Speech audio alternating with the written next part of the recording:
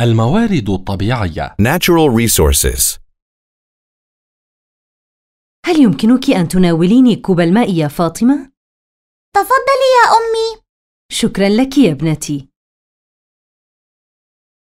سبحان الله الذي جعل لنا الماء متاحا دائما، ولماذا يكون الماء متاحا دائما؟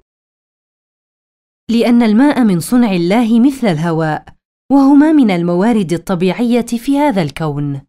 وما هي الموارد الطبيعية يا أمي؟ الموارد الطبيعية هي أشياء موجودة في الطبيعة تستخدمها المخلوقات الحية، وهي ضرورية لبقاء تلك المخلوقات الحية.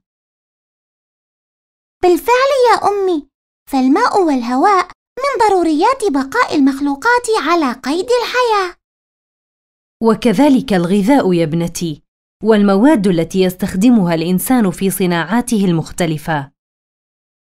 وما هي أنواع الموارد الطبيعية التي نستخدمها؟ تنقسم الموارد الطبيعية إلى قسمين.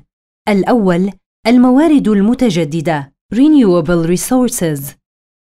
الثاني الموارد غير المتجددة non-renewable resources. وما هي الموارد المتجددة؟ الموارد المتجددة هي موارد يمكن تعويضها خلال مئة عام أو أقل. وهل لها أمثلة؟ نعم، فمن أهم الموارد المتجددة: واحد: الشمس كمصدر للحرارة والضوء. اثنان: الأمطار كمصدر للمياه على سطح الأرض. ثلاثة: الأكسجين. وكيف يتجدد الأكسجين؟ يتجدد الأكسجين من خلال عملية البناء الضوئي التي تقوم بها النباتات. وما هي الموارد غير المتجددة؟ هي مصادر لا يمكن تعويضها طبيعياً خلال مئة عام. آه، معنى هذا أن معدل استهلاكها أكبر من معدل تعويضها. نعم يا فاطمة. وهل هناك أمثلة على هذه الموارد؟ نعم، فمن أمثلة الموارد غير المتجددة النفط، لأن تعويضه يحتاج لملايين السنين. المعادن والفلزات الموجودة في القشرة الأرضية التي نستخدمها في الصناعات المختلفة مثل الحديد والنحاس والذهب والفضة والألومنيوم واليورانيوم وغيرها. شكرا يا أمي، لقد تعلمت كثيرا اليوم. يمكننا تلخيص ما تعلمناه فيما يلي.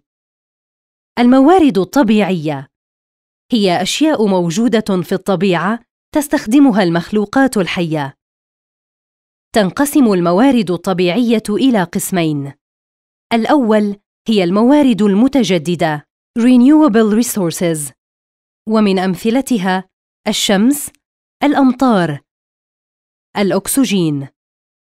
الثاني هي الموارد غير المتجددة. Non-renewable resources. ومن أمثلتها النفط، المعادن والفلزات الموجودة في القشرة الأرضية.